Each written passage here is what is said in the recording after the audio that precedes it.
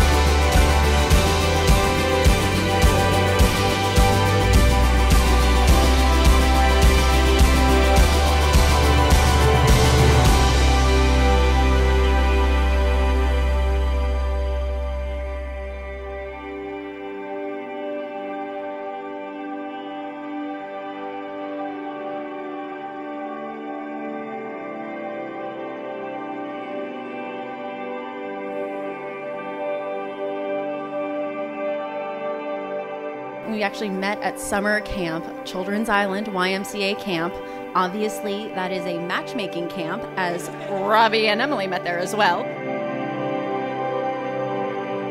And Robbie, you are getting such a wonderful woman as your wife.